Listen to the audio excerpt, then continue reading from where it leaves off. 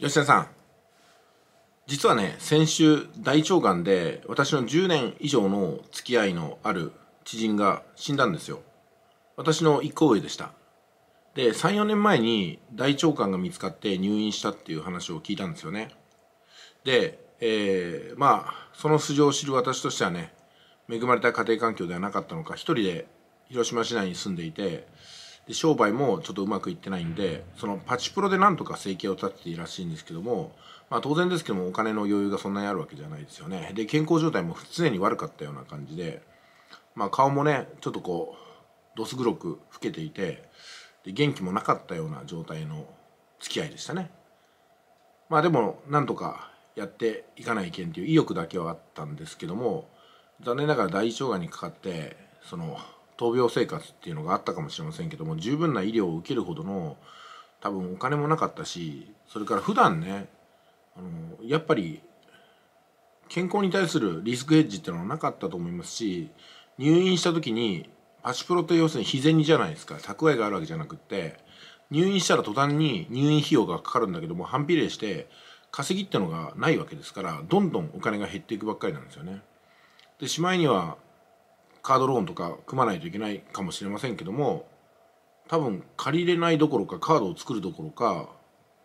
何と言いますかねあの ATM に行く気力もなくなってくると思うんですよね。であの大腸がんの前は胃がんで知人を亡くしたんですけどもその場合もやっぱりその日暮らしでねで入院費が200万ぐらいつけになっててで、えー、自分の身内が払いに来るからって言ってももう身内は感動されたような状態で全然身寄りがなくってもう私もちょっとね一回だけ見舞いに行ったんですけども私の方がなんかお金を請求されて私は身内でも何でもないですよ。ただ見舞いに来ただけなんですって話しかなくってね実際そうでしたしね。で結局そういったあの医療にはかかるんだけども取りっぱぐれる費用っていうのが結構あるみたいなんですよね。それと同時に金がないから医療が受けれずに寿命が縮んで当然見舞いに行ったらなんかもしかしたらね代わりに払ってくれるんじゃないかなって期待されることもあるんで、まあ、聞かれるわけですよね。どんな関係なんですか？って。失礼ですけどもお支払いの方がみたいなね。そんな感じになるんで見舞いにもに行く人が減ってすごく寂しい最後になるんではなかろうかと思うわけなんですよ。だから家族を持てばいいかっていうとこれもまた違って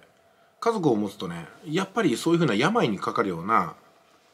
身内がいると結構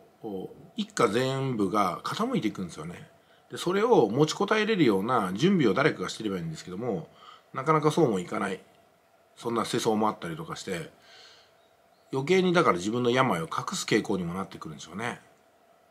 うん、なんか何とも言えないなんか暗い時代だなと思いますけどもせめてね吉谷さん私もそうですけどもあの大腸がんのリスクって40から結構高まってくるんですよ。で私もあのもう1年ぐらいになりますけど昨年の3月ぐらいにがんの疑いがあったんでね、えー、そこをフォーカスして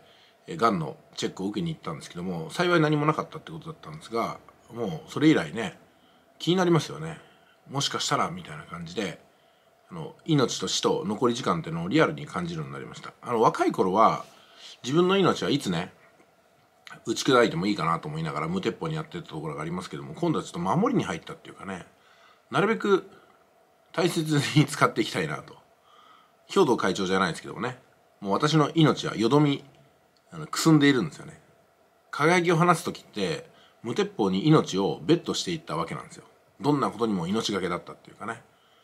一か八かみたいな感じだったんですけども一定のものを得ていて喜びに満ちた日々を送ってるとこれを失いたくないなっていうような守りの気持ちが出てきます。ですんでやっぱりね健康にも強い関心を示すようになりましたけども、まあ、吉田さんもね40じゃないですか、うん、やっぱなんかこうなんか健康に気を使いながら生きるって結構ね、うん、思うところありますよね、うん、大腸がんは男性すごくかかりやすいんでご用心ください。女性はちなみに30代ぐらいからあの子宮頸がんとかね乳がんとかっていうのがかなり疑われるんでその辺でも細かく見てもらった方がいいと思いますけどね。なんせ不思議なことに自分の体のことってのは